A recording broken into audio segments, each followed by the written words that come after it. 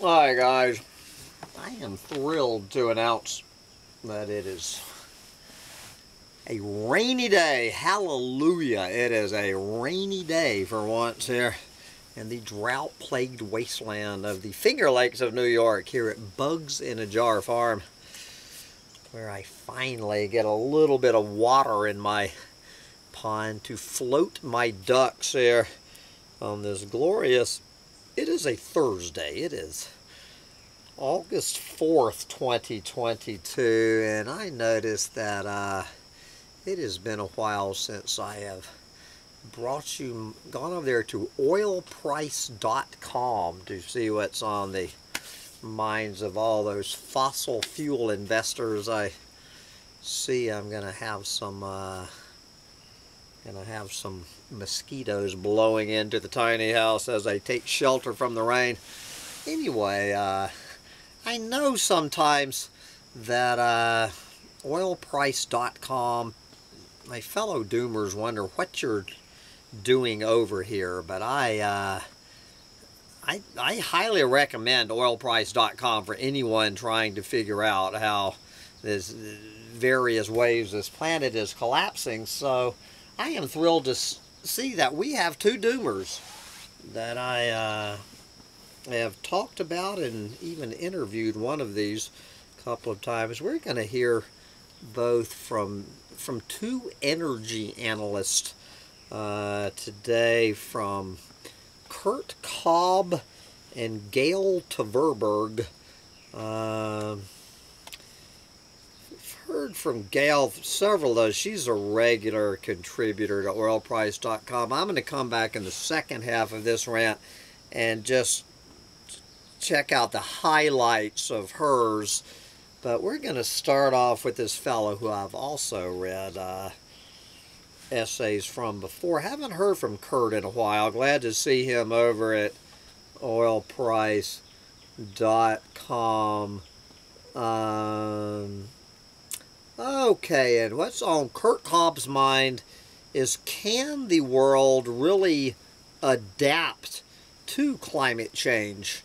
And the takeaways from his fairly short essay, the ongoing heat wave in Europe is highlighting some very real problems brought about by climate change.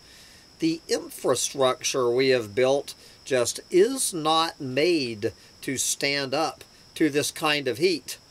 Yes, some believe that the world will simply adapt to climate change, though adaptation could compound the problem over time a bit.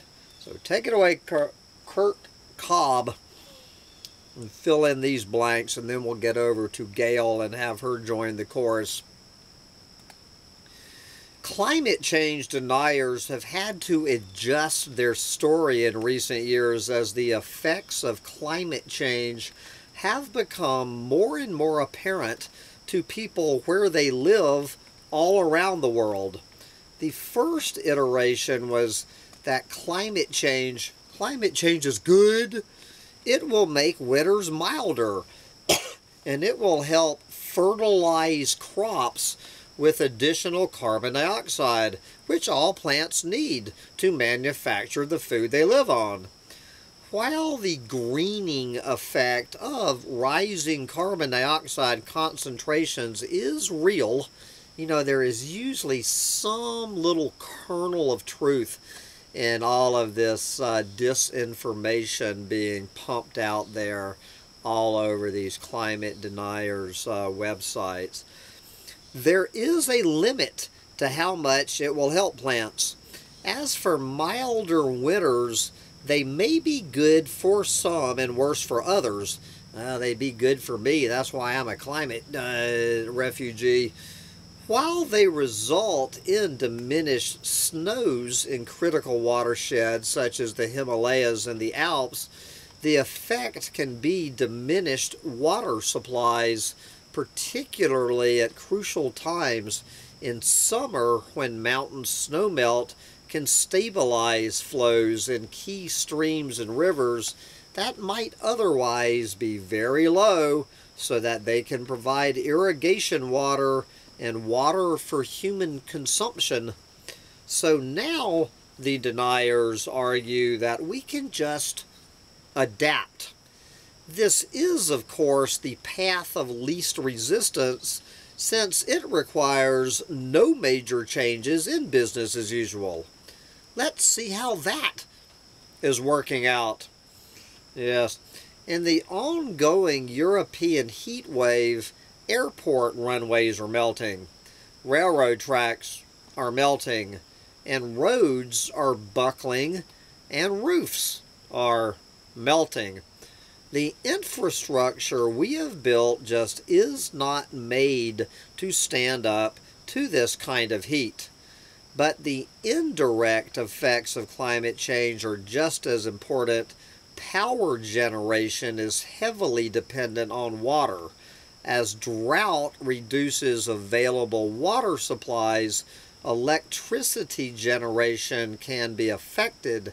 Most generation plants use steam to power turbines when water is in short supply. This hampers generation. Water scarcity is, of course, directly responsible for reductions in hydroelectric generation. And then there's two more stories right in this list of their regular news stories. They have one in here about the Rhine River uh, in Germany is so low and that they move all of these fossil fuels, uh, you know, on the Rhine River. And so a lot of these fossil fuels are 100% dependent on, you know, the water levels in the Rhine River being able to move the fossil fuel barges. So you have fossil fuel barges being piled up and drying up rivers while Kurt is writing the story. And then right next to that, they have an article that, uh, you know, as rivers and water in general gets warmer, that nuclear power plants, you know, they need a constant supply of cold water and as warmer the water gets, the more worthless it is to cool nuclear power. So it's uh, obviously it's hydropower, and you can and, and now it's cutting into nuclear power, and it's even cutting into fossil fuel power, who are dealing, you, you know, on uh, on rivers to float their barges, and then of course we have the railroad tracks melting, uh, and and we have the airport tarmacs uh, buckling. Anyway all of this right in uh, th this week's compendium, everything that Kurt is saying. You, you can find news from all over the planet backing him up. Anyway. Then there is the problem of increased consumption in no small part due to increased use of air conditioning. This, of course, creates a vicious cycle in which increased consumption of electricity generated by fossil fuels aggravates climate change, which then leads to higher temperatures, then which leads to the increased use of air conditioning. Now, I sold both of my air conditioners here at Bugs in a Jar Farm last year. So we had no air conditioners at Bugs in a Jar Farm. But of course, realize, realize, realize, just went and bought a new air conditioner to put in his bedroom two days ago. just can't win. Uh, anyway, if this is what the climate change deniers mean by adaptation, their argument is defeated on the spot an adaptation that makes matters worse creates the need for more adaptation and more after that. There is, of course, the cost of damage done by increasing flooding both in coastal areas and elsewhere. And then there is the need to find more water for areas becoming drier due to drought. Meaning all the stuff we just talked about. You can see these uh, these feedback loops forming all over the place. The adaptation feedback loops. Finally, there are the droughts affecting crops worldwide and driving up food prices. Droughts now spreading across the globe just as climate models predicted. Today, we have drought in Europe, the United States, Mexico, Argentina, Mauritania, Uganda, Ethiopia, Kenya, Somalia, Djibouti, and Eritrea. There are certainly more in others that don't encompass a substantial part of the country, but are nevertheless consequential. Companies are working on more drought-resistant and heat-resistant strains of grain, but they cannot reshape all crops anytime soon, for instance, orchards that are not replanted every year. And the deniers forget that their preferred policy of inaction means that climate change will be a continuously moving target, increasing in intensity and scope far into the future. There is no definitive maximum for carbon in the atmosphere under the deniers plan. So far, the adaptation strategy does not seem like it is succeeding. It's more like coping, and we have a lot of coping ahead of us for failing to take prevention seriously.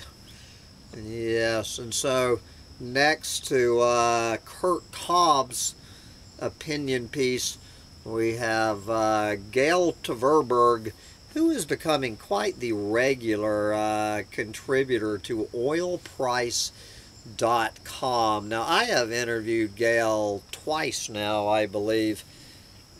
I kind of feel like I've interviewed Kurt Cobb, but maybe not. Uh, now, Gail, you know, tends to write book-length manuscripts. So what I'm going to do with Gail's, uh, since it would take me two hours to read this thing, uh, is uh, I'm going to read her her introduction, uh, her bold face points, and the conclusion. Okay. Uh, the takeaway, you know, oilprice.com always does the takeaway. So the takeaway, according to Gail Tverberg, is the price of energy has been too low for producers in recent years, while the price of extraction has increased.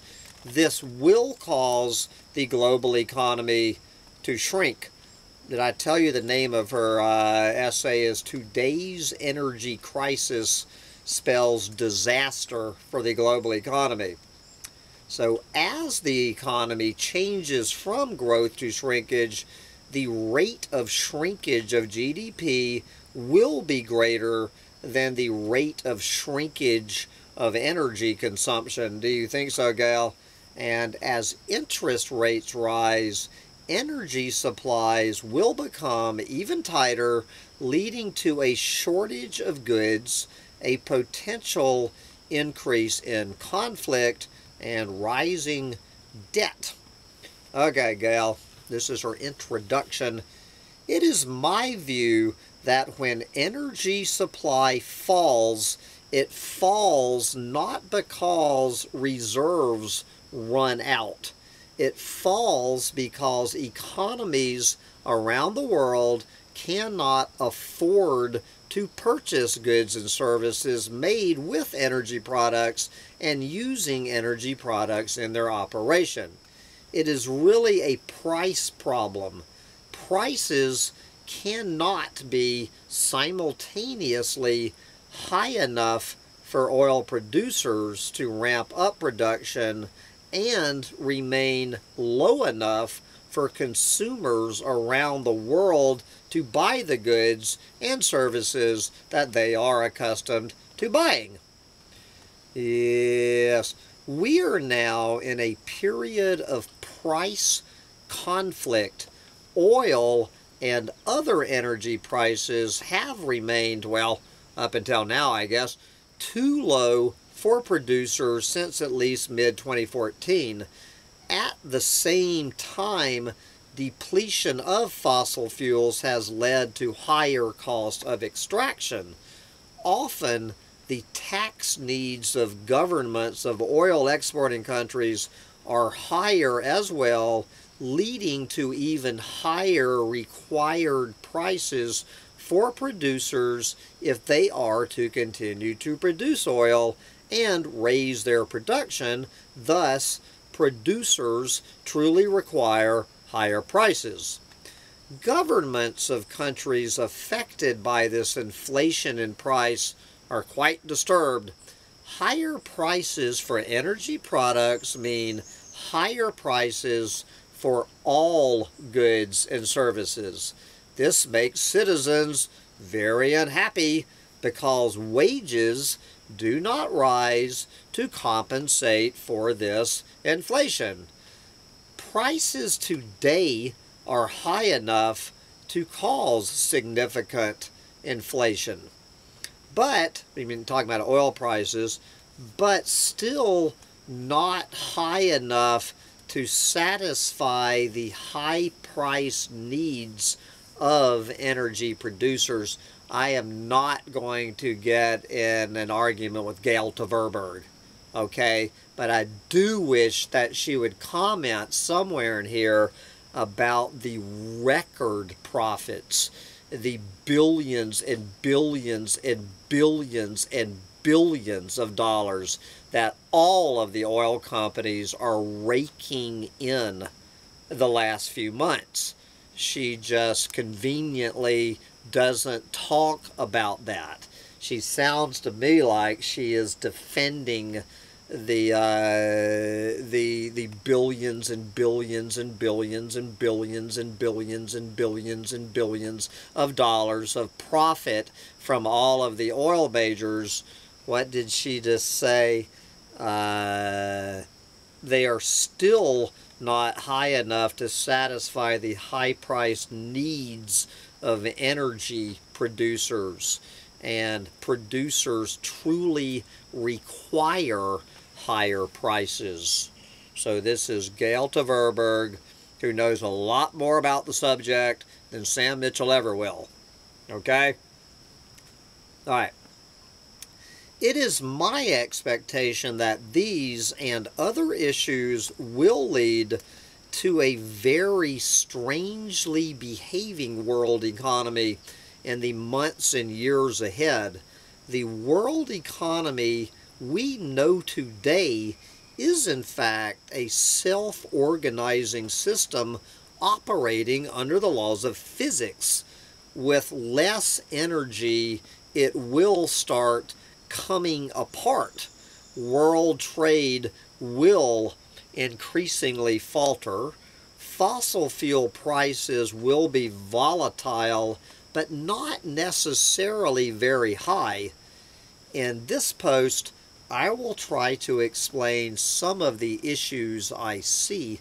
And all I'm going to do here, guys, is just read the, uh, the first, you know, bold-faced bullet without, you know, breaking down all the stuff in the middle. Uh, if you're interested in this, I highly advise you to go on this link and fill in the missing blanks. But these are the high points. Number one, the issue causing the price conflict can be described as reduced productivity of the economy.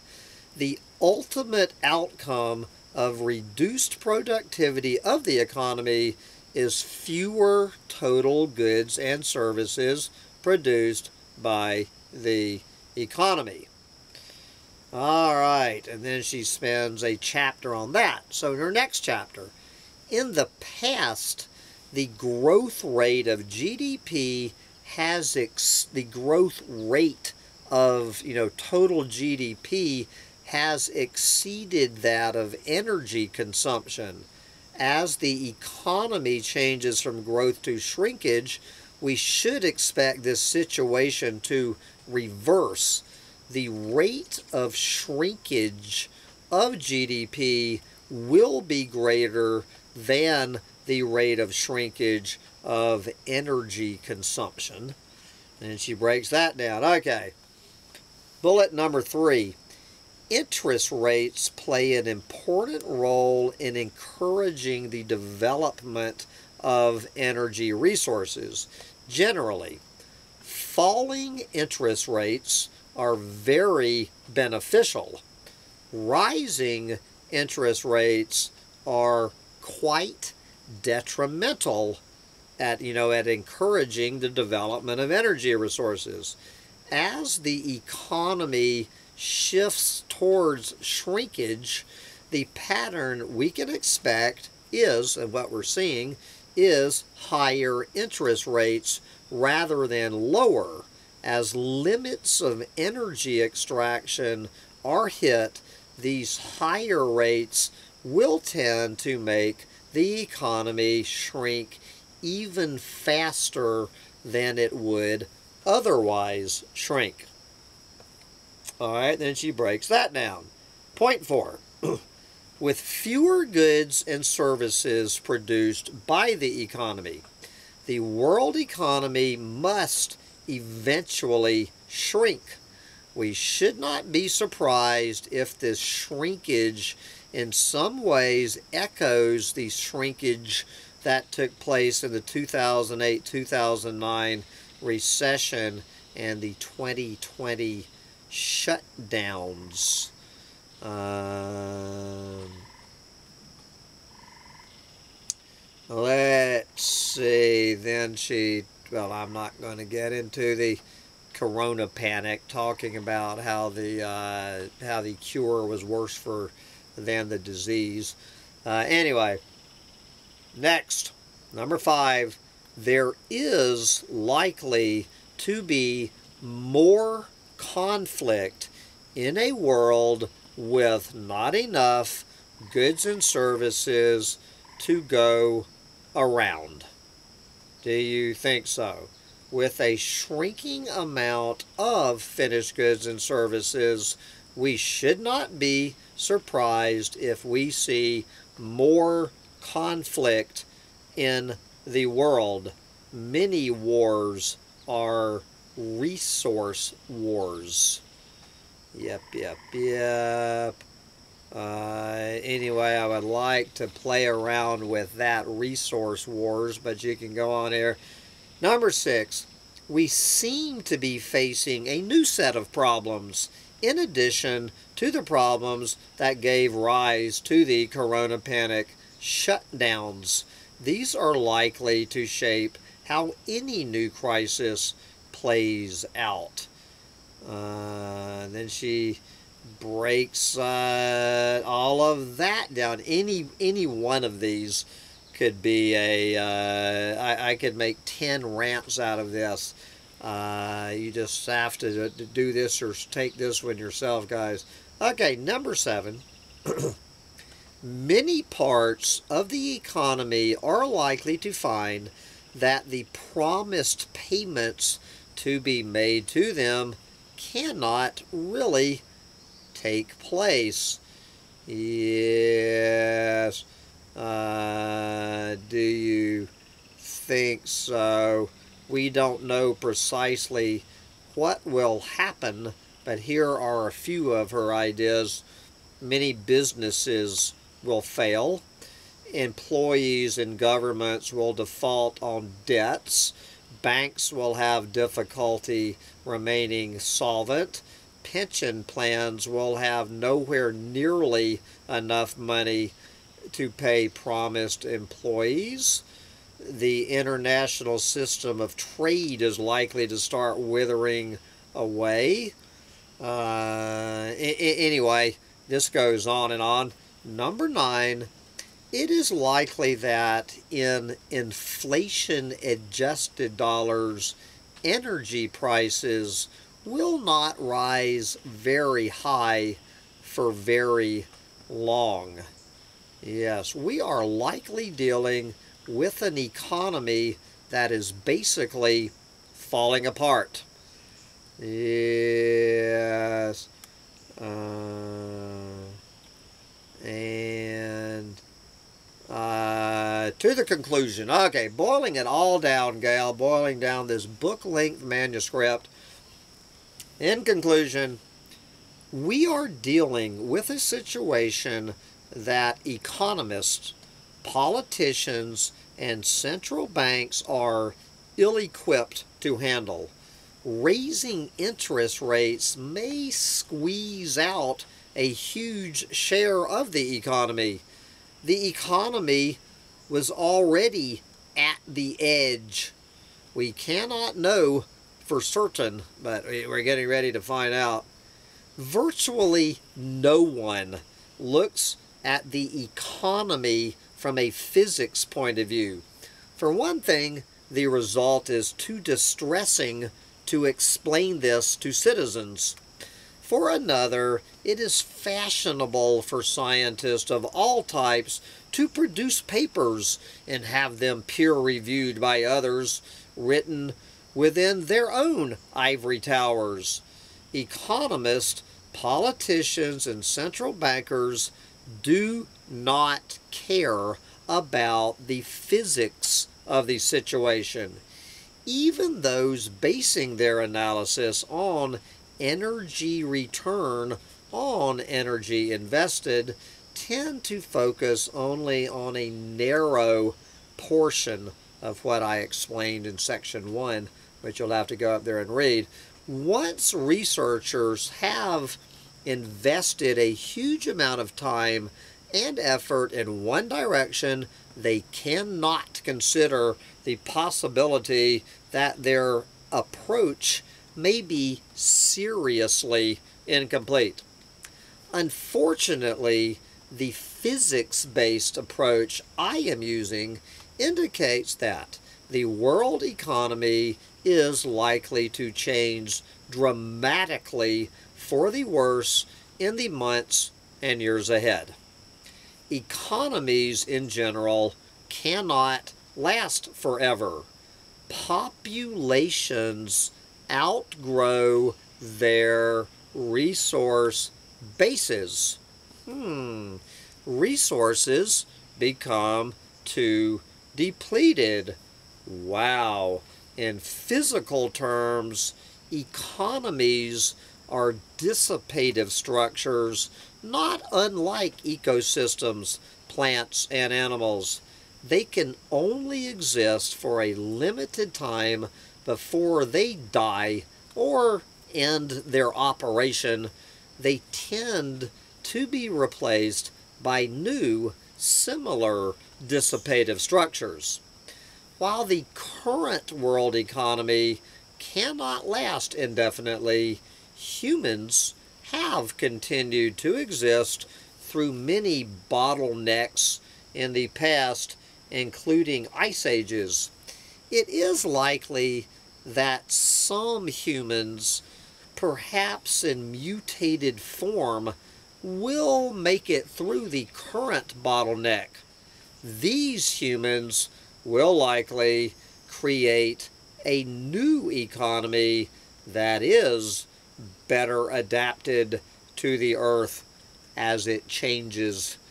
Well, with that little bit of hopium, I'm hoping she's right that we have some serious uh, genetic mutations happening, PDQ here, with the new humans making it through the bottleneck. Uh, anyway, it is always good to have Gail try to put this in language that even I can understand. Uh, but Kurt Cobb and uh, Gail Tverberg, uh, you can find them on oilprice.com. quite a bit. But I'm going to wrap it up and enjoy this lovely, cool, rainy evening here in the collapse at Bugs in a Jar Farm where we're going to be having a party next next month. Hope you guys can make it so we can party like it's 1999 while we still can. Bye guys.